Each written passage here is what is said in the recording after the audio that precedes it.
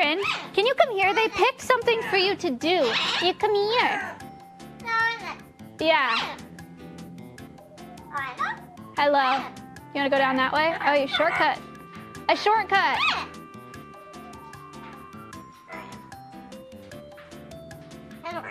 Hello, birdie. Hello, are you excited? The chat. Said no frame underscore except for four months. E-money lemon. What? Are you whistling? That is so nice. That's so nice.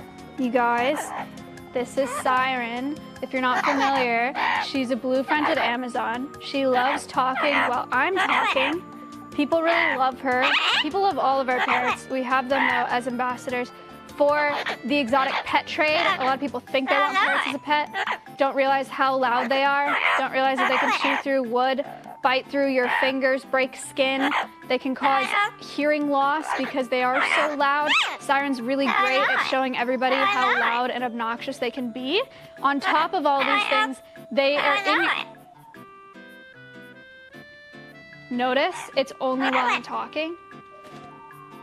On top, on top of all of those things that I. Seven Geo six months. On top of all those things that I just described, these birds in particular can live 50 to 60 years in captivity. We don't know how old Siren is. Um, yeah, so it's like having a toddler that can chew through wood and bite and cause hearing loss for 60 years, uh, which is just not realistic for most people. And so a lot of parrots end up in rescues. Um, despite all of those things, people don't know about that, okay? The demand for parrots is still really high. Between 2010 and 2019, over half a million parrots were exported for the pet trade from the wild. These birds in particularly, in particular, have a super predictable, super predictable nesting behavior. Um, they're always in the same trees. It's always at the exact same time of year, so they're really easy to poach. And so people will pick up baby sirens out of the wild um, and put them in the hubcaps of cars and you know go across lines. Um, and put them in PVC pipe and water bottles and ship them in cargo on airplanes uh, just to get them in the States. It has caused blue-fronted Amazons uh, to have a declining population.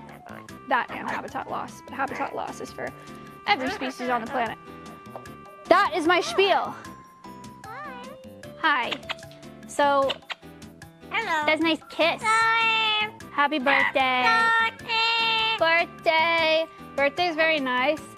Siren has also been learning sea shanties, okay? Sea shanties. So, Kayla um, uh, has been trying to teach Siren the sea shanty, and it's really low. Siren, besides the sea shanty, only knows how to sing happy birthday, and so she kind of combines the two.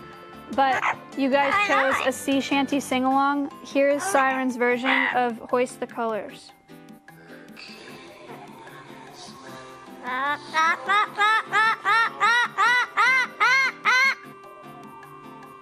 Birthday.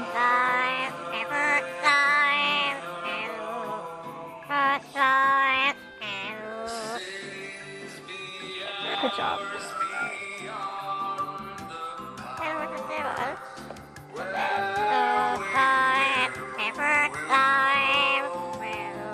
Happy birthday. Birthday.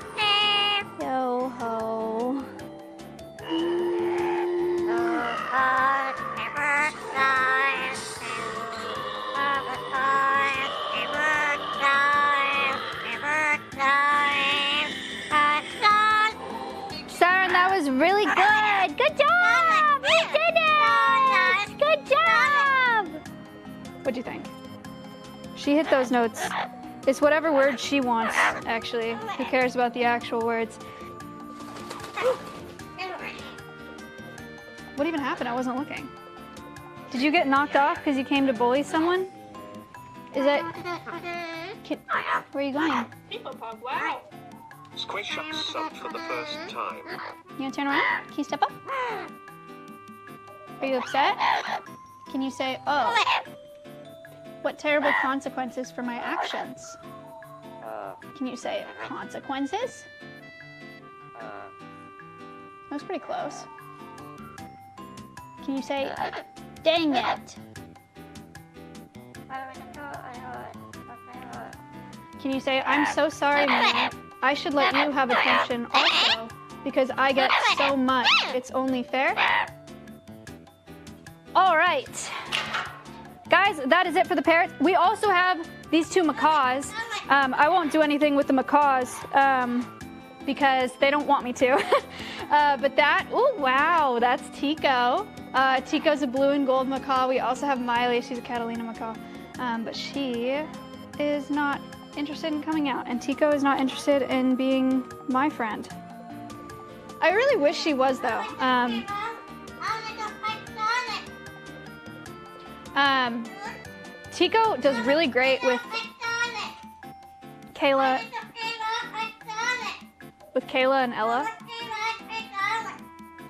Um, but the truth is, I just don't spend enough time with Tico and Miley uh, for them to be fans of me. Uh, macaws are especially particular about their people. Um, they're very, very smart birds. They're very sensitive. Um, and so they're notoriously challenging to train and work with.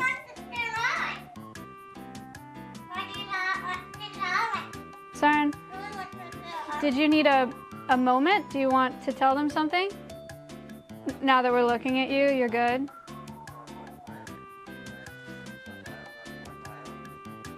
Carefully consider parrots as your choice of pet, all right? And if you are gonna get a parrot, some people ask me like, I really want one though, what kind? You can get like a cockatiel, all right? Or like something really small, but anything mid-size and up is usually a no-go for people. Um, just make sure whatever pets you buy, parrot or not, that they're captive bred. You don't wanna buy a wild caught bird, that's not cool.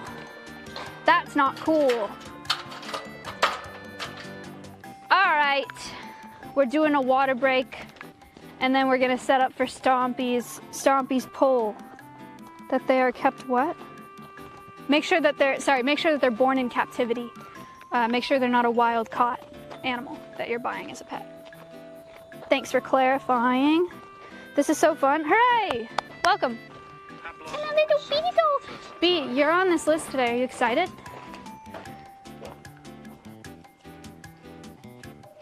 I have to trim the goat's hooves. I'll show you. Look at this. Are you gonna be nice and let me show them?